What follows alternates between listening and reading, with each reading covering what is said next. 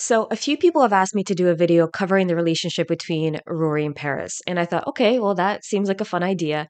And the way that I prepare for videos is that I go back and I rewatch the entire show, but I only watch the scenes that the character is in. So, over the weekend, I watched all seven seasons of Gilmore Girls, but I only watched the scenes with Paris. And I have to say that I don't think I've ever been more mentally drained by a character before.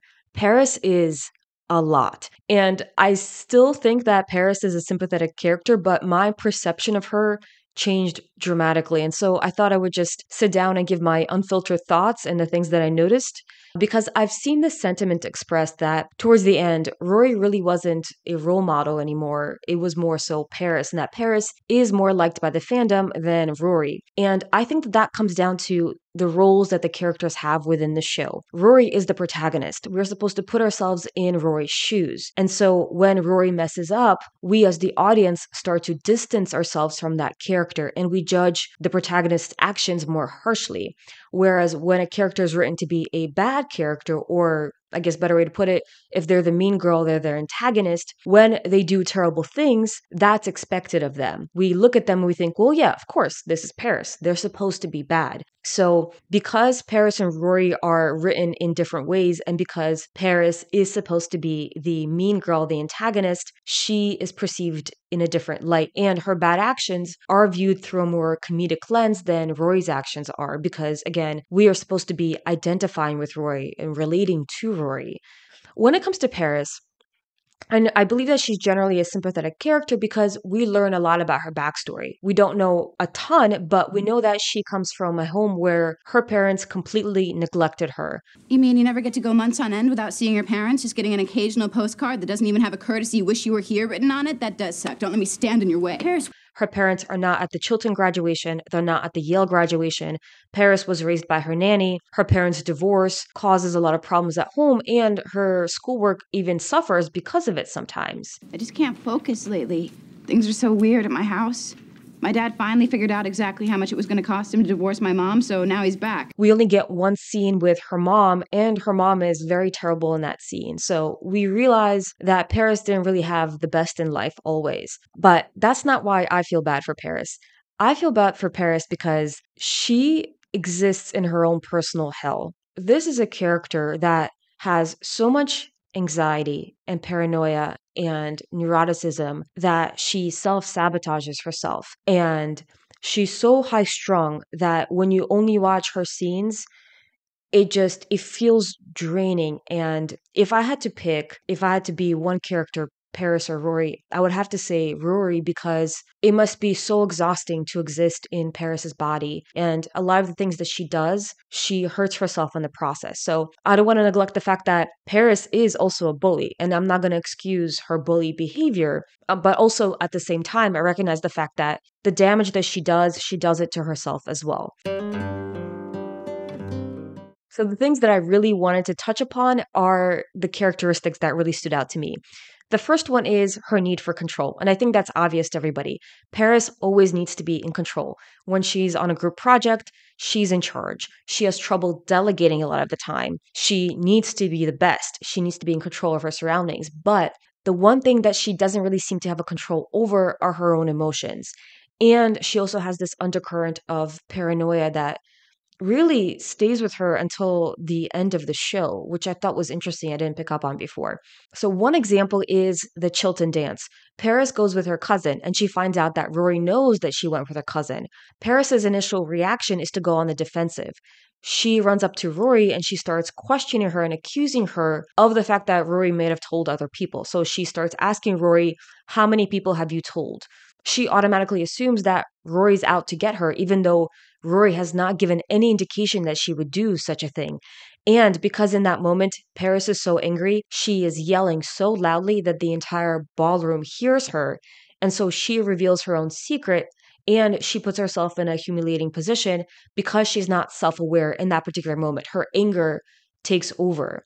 And the ironic thing is, is that in the next episode, when everyone is talking about Paris's parents' divorce, Paris then tells the entire school that Max Medina is seeing Lorelai, and she does this so that the heat is taken off of her. And this is kind of the kind of action that she would expect Rory to do, that Rory would go behind her back and attack her, even though that's the kind of action that Paris takes.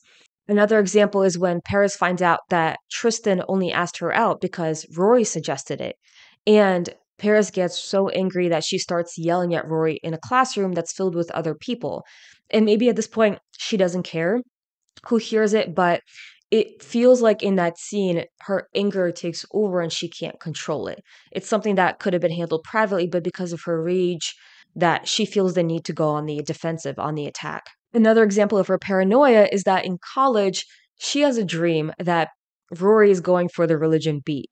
And in this dream, she, Rory cooked dinner for Doyle, and Paris is convinced that her dreams are telling her that Rory's going to go behind her back. So she's questioning Rory. She's trying to smell her hands, and Rory has to reassure her that, no, I don't want the religion beat.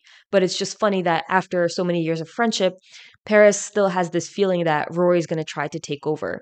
Another example is when Paris kicks Rory out when Rory becomes the editor in chief. And when Paris kicks Rory out, her feeling is that Rory planned this all along. So even though they've been friends now for many years, they've already been living together, Paris still feels like Rory wants to take over and that she is going to go behind her back to do something. Even though after many years of friendship, Rory has never given Paris any sign that she shouldn't trust her. And that's sort of an undercurrent of their entire relationship. From the very beginning, Paris always feels like she's competing with Rory, even though Rory really never treats her as competition. And not because Rory thinks that she's superior, but because Rory's just focused on her own life, her own work. But from the very first moment that Paris meets Rory, she assumes that Rory wants to be number one in the school, that she's going to go out for the Franklin, that she wants to be valedictorian. And that ends up being the case, but Rory never set out to do those things. And so this feeling kind of lasts until the very end of the show in season seven. There's a point where Rory has to take time off class because Richard was in the hospital. He had a heart attack. So Paris gives her her notes and she blocks out sections of her notes. And Rory asks, Oh, why are some sections blocked out? Paris explains it as, Well, I'm going to give you what was shared with the public, but I'm not going to share with you my personal opinions on these notes because there could only be so many women at the top. There's one thing I learned in that first lecture is that there's not room for many women at the top. And it's just really interesting to see that after such a long time of this relationship that Paris still feels like she has to compete. And I know this there's this I feeling that Paris is a very loyal friend and she is a very loyal friend, but I don't think that Paris fully trusts Rory even at the end because even in season six, we see that Paris kicks Rory out and doesn't give her a chance to even explain herself. And in season seven, Paris is worried about even sharing her private thoughts on notes with someone who she considers to be her best friend. It almost feels like Paris always kind of keeps Rory in this weird bubble where they're close, but she keeps her at an arm's length. Another thing that I thought was interesting is that Paris can't handle rejection. And I'm not referring to Harvard. So there's a moment where Paris and Rory win their debate, and then Paris comes up to Rory and she wants to celebrate. Rory has plans with Christopher and Sherry and Lorelai, so she says that she can't come out. And automatically, Paris gets very irritated and she gets very annoyed with the fact that Rory's busy. She almost assumes that Rory's making things up, that she just is saying no because she doesn't want to hang out with her, that Rory's making up an excuse. And it's just, it's interesting that Paris's initial reaction is just assume that she's being rejected because it's because of her and not because of external circumstances. And okay, to touch upon Harvard, and I know that there's this sentiment that people feel that Paris should have gotten into Harvard. And I think that realistically, because Paris is a legacy that generations of her family have gone to Harvard and that her family has a ton of money, she probably would have gotten in. But I don't think that would make sense within the canon of the show. I do think it's important to talk about the interview process. I believe it's an opportunity to weed out the hyper intense candidate. First of all, Paris is a very volatile and intense person. And where she goes wrong is during the interview process. She really fudges that up. And it's another example where her lack of emotional control sabotages her. So during the interview, she is rambling, she's ranting about population control in Europe, and she's yelling at the interviewer. She's not letting the interviewer speak, and she's not letting the interviewer clarify that she's not even addressing the question that's being asked. And it's very clear that she's very panicked in the moment. She says how hot she is in the room. And I think just that interview itself demonstrates that Paris's behavior is what causes her downfall and what causes her to fail. Another example is when Paris is editor in chief of the Yale Daily News. Paris takes over, she's put into a position of power, but because she needs to be in control of it all the time, she creates a very toxic environment. She causes a lot of people to quit, and the quality of the newspaper suffers. So she had to be taken off she caused her own downfall in that situation. So it is kind of funny that Paris then gets very mad at Rory for taking over. And it's kind of interesting because this is not even Paris's dream.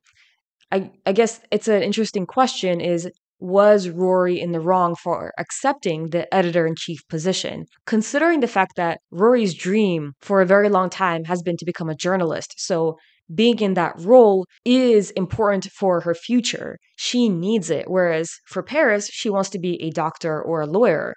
This is something that she's doing just because she's interested in it. She doesn't need that position. And she was forced off of that position because of her own actions.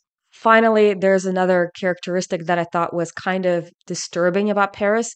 And there's only a few examples of this, but it's something I noticed, and maybe I'm reading too much into it. But I thought it was, I don't know, a little unusual is that Paris sometimes spins her own narrative, and it's not clear if she's lying or if she's deceiving herself. One example is when Headmaster Charleston calls Paris and Rory into his office. Rory says, I'd never wanted this stupid job in the first place. Who forced you to take it then? You did, because you didn't think you'd get elected unless I ran with you. That's not true. It's... I don't want to be vice president. Oh, come on. Every little girl wants to be vice president. Not this one. But you have to. It's the only way. Please, I'm begging you. Another interesting example is when Paris is voted off from her position as editor in chief. Paris comes out and she gives a resignation speech, even though she's not resigning, she was forcibly removed. But in that moment, it feels like she's created this narrative in her mind that she's resigning off the position, even though she was just told that she was fired. And part of this is also the moment where Rory takes over and she makes sure that the paper gets published. It gets very frantic. Rory starts delegating, everybody bands together, and at the very last minute, they finally get the issue published. And then Paris comes out and she says, Yes, guys, we did it even though she really didn't take part in that at all. She was in her bunker the whole time, but she is then associating herself with the group and associating herself with the progress that was made by the group, even though she wasn't really part of it.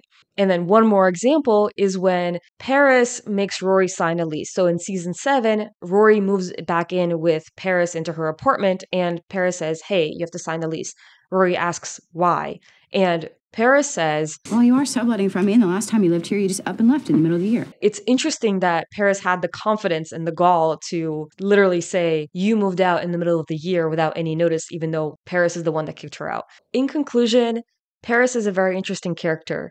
I feel bad for Paris, but I don't want to be Paris. And I think most of us can acknowledge the fact that while you may like Paris, it's not someone who you would be, I guess, comfortable with in real life. She's very, very intense. And this is obviously not a full character analysis on Paris. Also, let me know if I should still make a video about Paris and her relationship with Rory. I have all those notes ready so I can make it. Thank you so much.